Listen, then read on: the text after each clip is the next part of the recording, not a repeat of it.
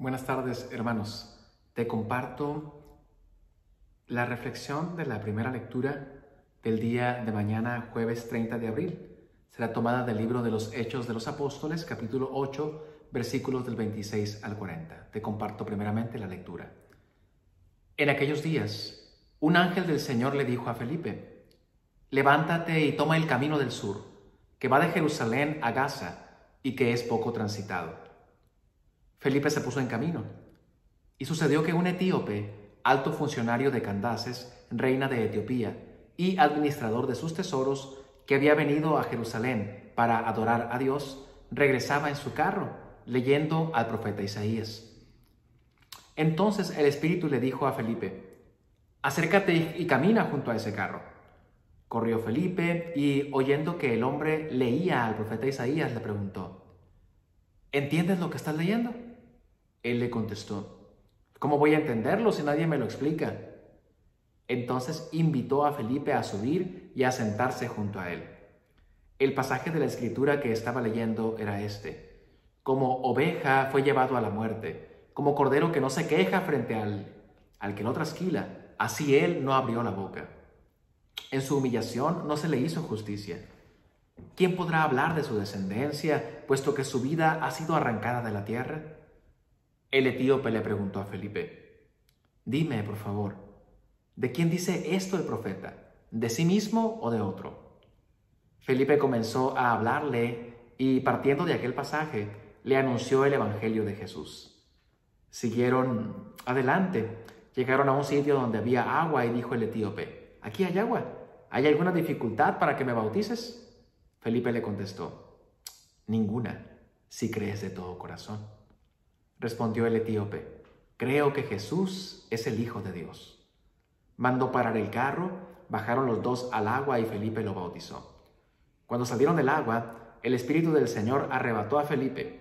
El etíope ya no lo vio, ya no lo vio más y prosiguió su viaje lleno de alegría. En cuanto a Felipe, se encontró en la ciudad de Azoto y evangelizaba a los poblados que encontraba a su paso, hasta que llegó a Cesarea. Palabra de Dios. Te alabamos, Señor. Hermanos, qué hermosa es la palabra de Dios cada día. Y hoy aparece Felipe, el diácono Felipe, que está atento a la voz de Dios, ¿no? Es un hombre lleno del Espíritu Santo. Y hoy nos dice la palabra que un ángel le dijo, levántate y toma el camino del sur. Hay alguien que te necesita. Y va este etíope, este hombre importante, leyendo la Sagrada Escritura, leyendo al profeta Isaías, y le pasa como a muchos, como muchos de nosotros, como a muchos católicos, que nos ponemos a leer la Biblia y no la entendemos, que tantas veces nos hemos desanimado precisamente porque hemos intentado tener una cercanía, un acercamiento con la palabra de Dios. Permítanme, déjenme acomodar bien aquí. Hemos tenido, hemos querido tener una cercanía con la palabra de Dios y nos hemos desanimado porque no la entendemos. ¿Cómo ocupamos a estos Felipes, no? A esta gente llena del Espíritu Santo, llena de Dios en nuestras iglesias, para que se acerque a nosotros, se acerque a nuestro carruaje, se suba con nosotros y nos explique la palabra de Dios. Una primera enseñanza es esta. Pidámosle hoy a Dios que ponga en nuestra vida a esos Felipes, a esas personas generosas que están atentas a escuchar lo que Dios les pide a través de su ángel, a través del Espíritu Santo, para que lleguen a, nuestras vidas y podamos así entender el pasaje, entender la Biblia, entender aquello que Dios nos quiere decir a través de su palabra. Una segunda enseñanza también es muy hermosa. Fíjate que qué honesto es este etíope cuando le pregunta, ¿entiendes lo que estás leyendo? Él dice, ¿cómo lo voy a entender si no hay nadie que me lo explique? Hay gente, hay hermanos nuestros que pueden creer que sí están entendiendo. Y realmente porque creen que saben, se quedan en la ignorancia.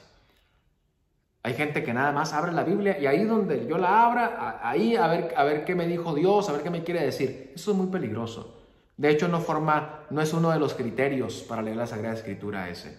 ¿Quieres conocer tú los criterios para leer la Sagrada Escritura como libro de familia? Porque la Biblia es, es el libro de la familia católica, ¿ok? Ahí nació la Sagrada Escritura. Los 73 libros que tú tienes ahí nacen en, el, en la familia católica, por eso solamente pueden entenderse desde ella. pueden entenderse correctamente, por supuesto. ¿Quieres conocer todos estos criterios para poder interpretar bien lo que dice la Sagrada Escritura? Ve a tu catecismo, al Catecismo de la Iglesia Católica número 111. Ahí vas a encontrar tres criterios fundamentales para saber que tú estás leyendo la Biblia no como a ti se te ocurrió, no como te dijo no sé qué tal o cual persona, sino como te dice la Santa Madre Iglesia. Tú y yo somos católicos, no nos mandamos solos. Y la Biblia no es como que aquí está la Biblia y yo la interpreto como quiero. No, te estás arriesgando y le estás faltando respeto a la Biblia misma. La Biblia no es para eso. La Biblia nace en un contexto, en una familia y es el libro de la familia.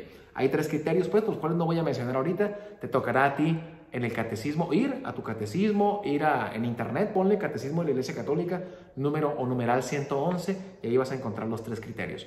Quédate con estas dos cosas hoy. Pidámosle al Señor que siempre nos mande un ángel, como Felipe, eh, que sí, el ángel manda a Felipe, ¿no? Pero que Felipe sea, eh, eh, que encontremos un Felipe en nuestra vida que nos explique la Sagrada Escritura. Pero si tú ya estás empapado, tú eres una gente que conoce la palabra de Dios, dile al Señor, quiero llenarme de tu espíritu.